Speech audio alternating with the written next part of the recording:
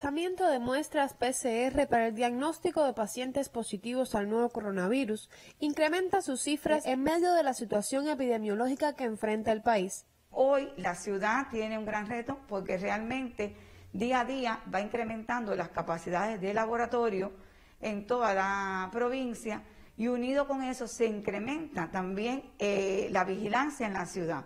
El Centro Provincial de Higiene y Epidemiología es uno de los laboratorios que laboran en La Habana con resultados satisfactorios. Hemos tomado medidas en aras a priorizar de que las muestras evolutivas, los resultados estén antes incluso que las muestras no evolutivas, por múltiples razones.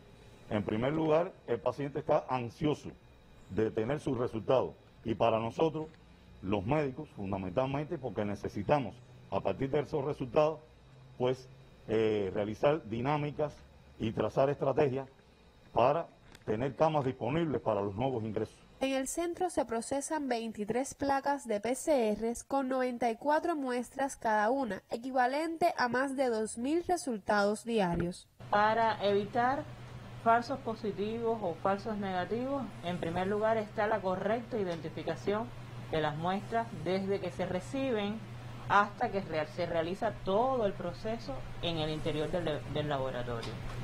Y está desde el cumplimiento de todas las medidas de bioseguridad, de limpieza y anti asexia y antisexia para evitar que esto ocurra, que es llevado a cabo con las áreas, con las muestras y con los equipos que se emplean para esta, eh, este diagnóstico.